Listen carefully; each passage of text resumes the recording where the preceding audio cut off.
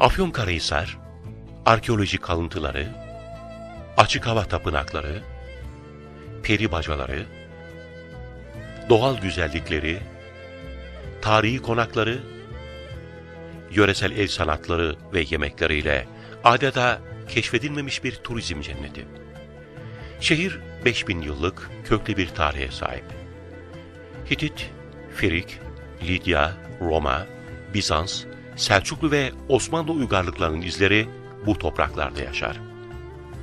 Kral yoluyla Anadolu'yu, Ege'nin en önemli liman kenti Efes'e bağlayan şehir, Anadolu'nun en işlek kervan yolları üzerindeki önemini sürdürür.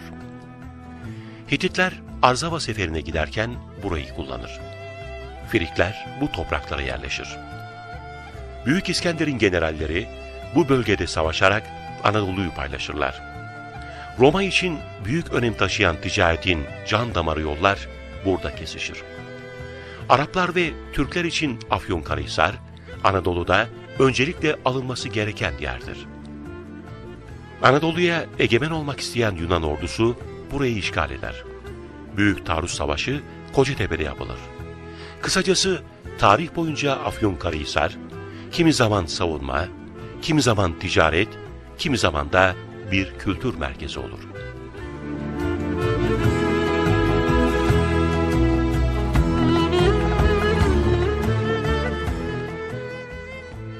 Afyonkarahisar ve çevresinde Apamea, Dinar, Sineda, Şuhut, Amorium, Emirdağ Hisarköy, Pentapolis, Sandıklı Ovası ve Dokimeon, İsçehisar kentleri kurulur.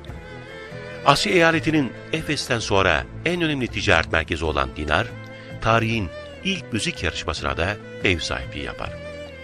Efsaneye göre Marsyas'la Tanrı Apollon arasındaki yarışmayı Apollon kazanır ve Marsyas'ın derisini su çıkanda bir köknar ağacına asar.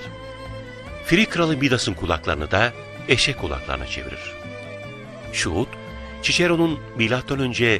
51 yılında hitap ettiği bir adli bölge merkezi olur. Hisarköy, Bizans döneminde İstanbul'dan sonraki en büyük kent konumuna yükselir. İsçehisar ise Roma İmparatorluğu'nun en büyük mermer ocaklarına sahiptir. Tarihteki önemli kentleriyle Afyonkarahisar, asırlar boyu Doğu ve Batı kültürlerinin kaynaşmasına tanıklık eder. Anadolu'nun dört bir yanını birbirine bağlayan, zengin tarihi ve kültürel mirası bugüne taşıyan şehir, Türkiye Cumhuriyeti'nin kuruluşunda da odak noktası olur. Mustafa Kemal Paşa 25 Ağustos 1922'de cepheleri Şuhut'tan Kocatepe'ye taşır ve Büyük Taarruz Harekatı'nı 26 Ağustos sabahı Kocatepe'den başlatır.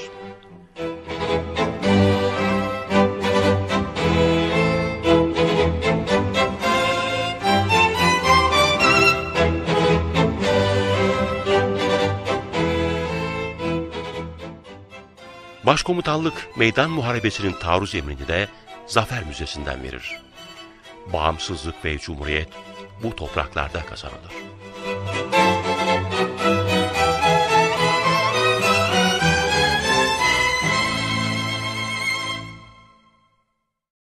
Haşhaş, diğer adıyla afyon, asırlardan beri bu toprakların vazgeçilmez bitkisi olur.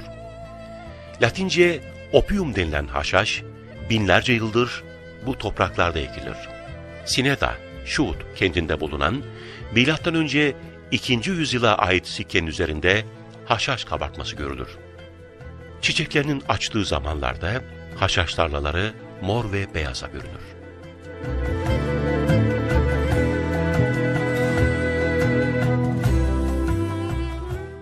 Afyonkarahisar Kalesi, zengin tarihin en önemli tanığıdır. Önce 1344 yılında Arzava ülkesine sefer düzenleyen 2. Murşil, sefer dönüşü askerlerinin barınması için Yüksek Tepe şehri anlamına gelen Hapanova'yı yaptırır. Frikler döneminde kalenin eteklerinde kurulan şehrin klasik çağlardaki en eski adı Akronyo'dur. Kent daha sonra Akronium adını alır. Kale zirvesinde ana tanrıça Kibele adına yapılmış tapınma yerleriyle dört adet büyük sarnıç bulunur. Kentin tarihinde kale hep ön planda olur ve kent adeta kalesiyle özdeşleşir. Kale, türlü inanışlara ev sahipliği yapar ve hakkında türküler yakılır.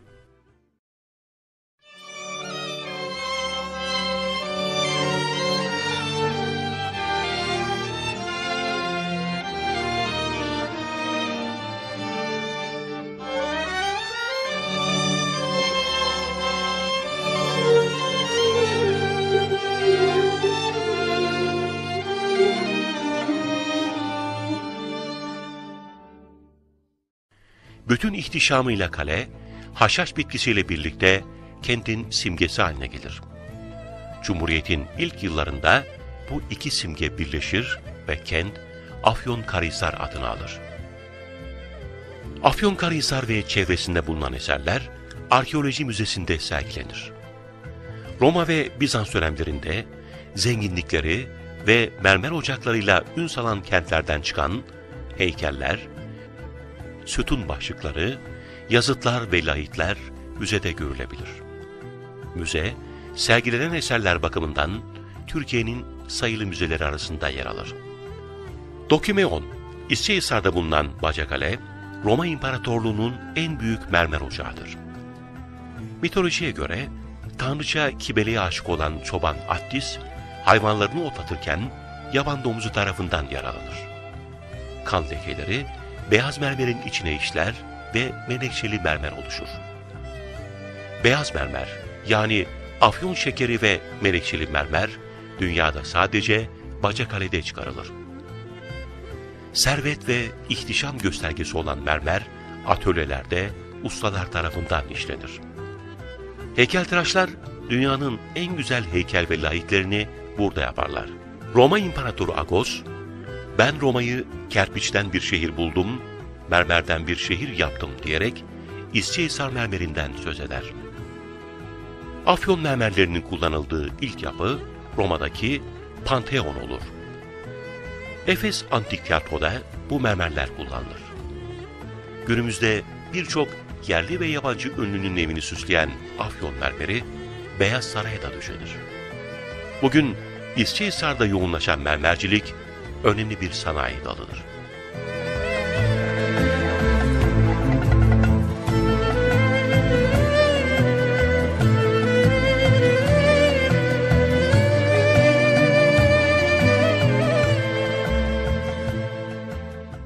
Firikler, İhsani ilçesine bağlı Göynüş Vadisi ve eski Döer kayalıklarında bir kent kurarlar.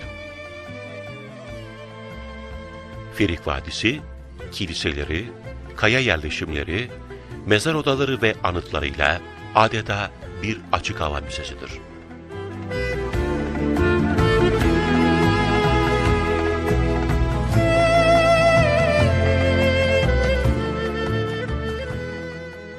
Aslankaya, Kapıkaya, Maltaş tapınaklarıyla Aslantaş ve Yılantaş kaya mezarları bulunur. Ayezin beldesinde Kaya Kilisesi, oyma mağaralar, mezar odaları ve kaya yerleşimleri göze çarpar.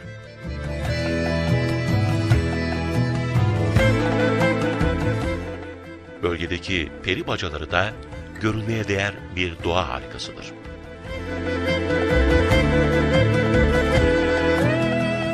Ankara yolu üzerinde İsçehisar yakınlarındaki Kırkinler ve Şuhut'ta bininler kaya yerleşimleri bulunur.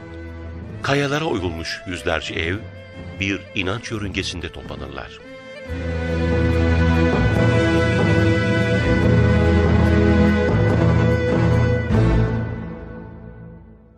Hristiyanlıktan Müslümanlığa uzanan çizgide Afyonkarahisar, yoğun bir din kültürüne ve mirasına ev sahipliği yapar. 1273 yılında yapılan Ulu Camii, Selçuklu döneminin 700 yıllık estetiğini günümüze taşır. 40 ahşap sütun ve başlık üzerine oturan cami, yeşil sırlı minaresiyle döneminin eşsiz eserlerinden biridir. Gedik Ahmet Paşa Külliyesi 1472-1477 yıllar arasında Fatih Sultan Mehmet'in sadrazamlarından Gedik Ahmet Paşa tarafından yaptırılır. Cami renkli kapısı, mihrabı, minberi ve iç süslemeleriyle çağının en güzel eserlerinden biridir.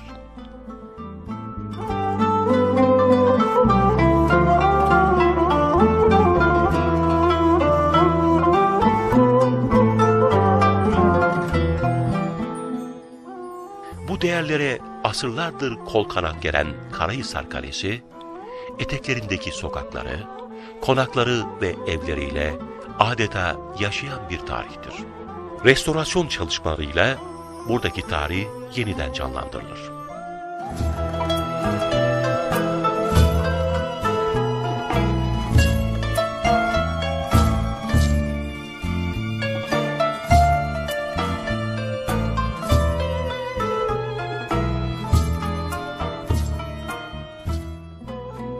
Şehir, tarihi hanları, hamamları, kervansarayları, külliyeleri ve köprüleriyle tarih ve sanatı iç içe yaşar ve yaşatır.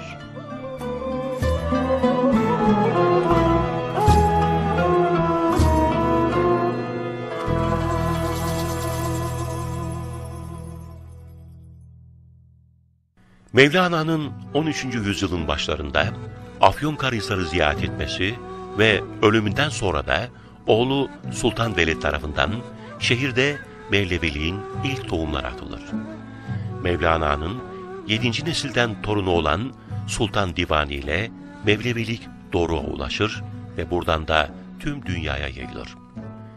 Afyonkarahisar Mevlevi Hanesi, Konya Mevlevi Hanesi'nden sonra en önemli Mevlevi hanedir. Cami içinde Sultan Divani ve diğer Mevlevi dervişlerinin mezarları bulunur. Bahçede bulunan müze ise mutfak, derviş, sema, mesnevi han ve hattat odalarıyla görülmeye değerdir.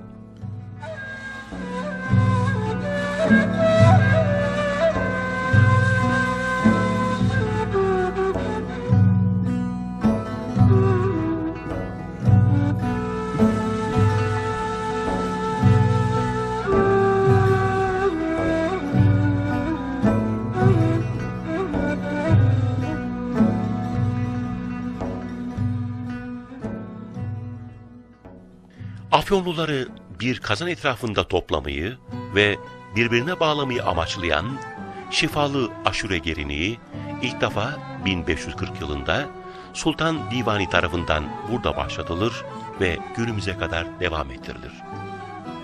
Kırk hafız indirdiği kırk hatmin duasını yaparken kazanlarda zencefilli, haşhaşlı, güllü aşure pişirilir ve halka dağıtılır.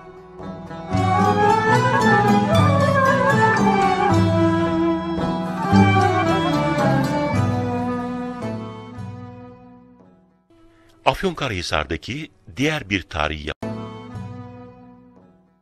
Afyonkarahisar'daki diğer bir tarihi yapı da Afyon Lisesi'dir. Lisenin tarihi 1868 yılında açılan Karahisar'ı sahip rüştiyesine dayanır. Ön ve arka duvarları Osmanlı Çini sanatının güzel örnekleriyle süslüdür. Türk eğitim sisteminin asırlık çınarı olan Afyon Lisesi, yetiştirdiği devlet, siyaset ve bilim adamlarıyla Cumhuriyet tarihine damgasını vurur. Şehir merkezindeki Utku Anıtı, kentin düşman işgalinden kurtarılışı anısına dikilir. Ünlü heykeltıraş Henrik Kripel tarafından 1934-1936 yıllar arasında yapılan anıt, arkasında görülen kale ile bütünleşir.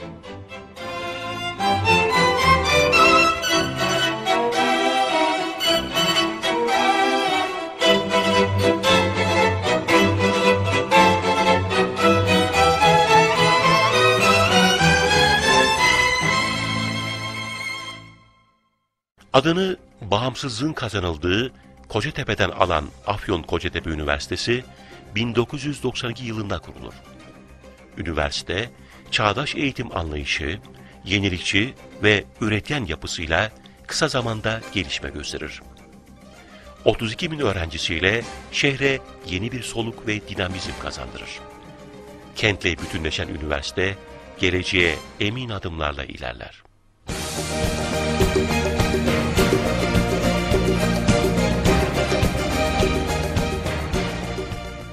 Afyonkarahisar ve çevresi Frikya salutaris, şifalı Frikya olarak anılır. Bu isim dünyaca ünlü sıcak suları ve kaplıcalarından gelir. Gazlı Göl, Gecek, Hüdayi, Heybeli ve Ömer kaplıcaları şifa dağıdır. Bu kaplıcalar Türkiye'nin sayılı termal alanlar arasında yer alır ve turizm merkezi ilan edilir.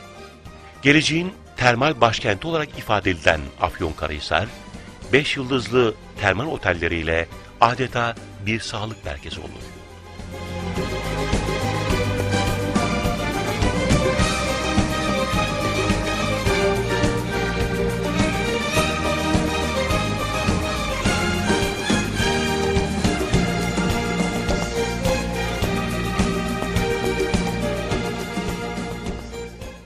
Otellerin kür ve spa merkezlerinden her yıl binlerce kişi faydalanır. Yapımına başlanacak olan Zafer Hava Alanı sayesinde yurt dışından gelecek olan müşteriler dünya çapındaki bu tesislerde ağırlanacaktır. Kızılay maden suyu Gazlı Göl'de çıkarılır ve dünyanın en iyi maden suyudur. Osmanlı döneminde padişahlar Afyonkarahisar'dan İstanbul'a bu suyu getirtirler. Afyonkarahisar, jeotermal enerji potansiyeli bakımından da zengin bir şehirdir. 1994 yılında kurulan Afşet, Ömer Gecek yöresindeki sıcak suyu ısıtma amaçlı olarak şehir merkezine taşır. Sandıklı ilçesinde aynı amaçla Sanjet faaliyete geçirilir. 2009 yılında dünyanın en modern jeotermal kaynaklı teknolojik sera tesislerinden biri kurulur. Çobanlar ilçesinde Kurt Seracılık tarafından hizmete açılan serada 350 bin metrekare alanda ürün yetiştirilebilecektir.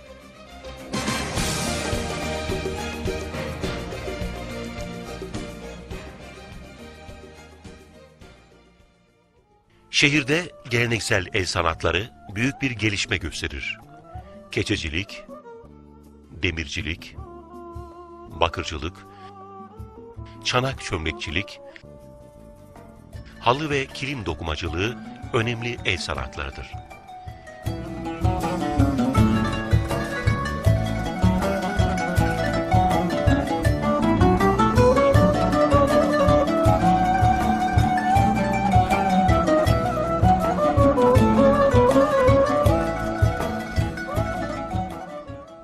Keçeciler Çarşısı'nda keçelerini eski usul yapan keçeciler halen vardır. Burada sabır, özveri ve ince bir estetik anlayışı göze çarpar. Halı ve kilim dokumacılığı geleneksel olarak sürdürülür. Bayat ilçesindeki yöresel kilimlerde kirmanda eğrilen ve doğal kök boyalı yün ipler kullanılır. Kadınlar sevinçleri, hüzünleri ve destanları kilimlere ilmek ilmek dokurlar. Her ilmekte özlem biter, her ilmekte kavuşma bir başka bahara kalır. Ayrıca renk renk motiflerle, nakışlarla işlenen örgüler göz kamaştırır.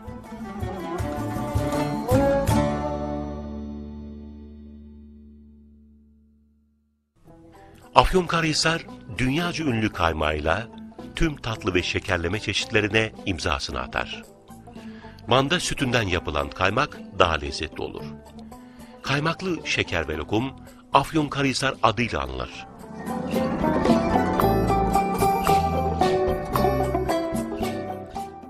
Sucuk da şehirle özdeşleşen bir üründür. Şehir sucuk markasını ulusal anlamda tescil ettirir. Yemek kültürüyle de adından söz ettiren şehir, geleneksel lezzetleriyle zengin bir mutfağa sahiptir. Yemeklerde etin özel bir yeri vardır.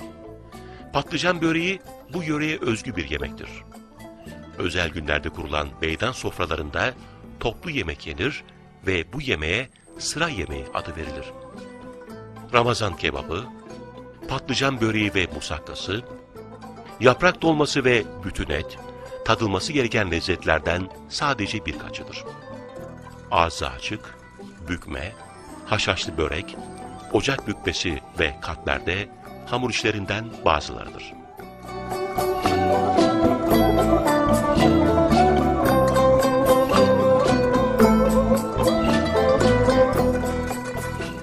Afyonkarahisar'a özgü kaymak ve kaymaklı ekmek kadayıfı sofraların vazgeçilmez lezzetidir.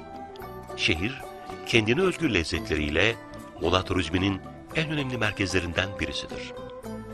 Karayolu ulaşımının en gözde konaklama tesisleri her gün binlerce misafiri ağırlar.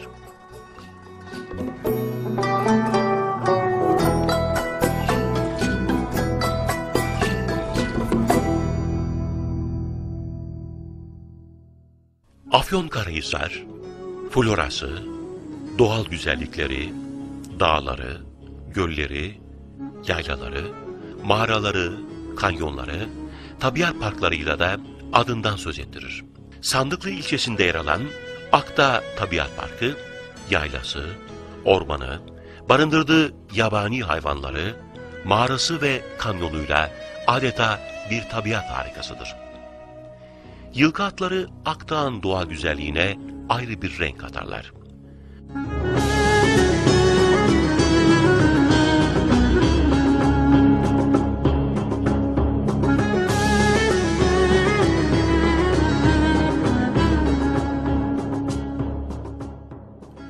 Akta yürüyüş, dik kaya ve zirve tırmanışları, mağara ve kanyon gezileri için ideal bir yerdir. Flamingoların göç yolu üzerinde bulunan Acıgöl, kuş popülasyonu bakımından Anadolu'da korunan en önemli bölgelerden biridir. Gölde kuş gözlemcileri için bir gözlem evi bulunur.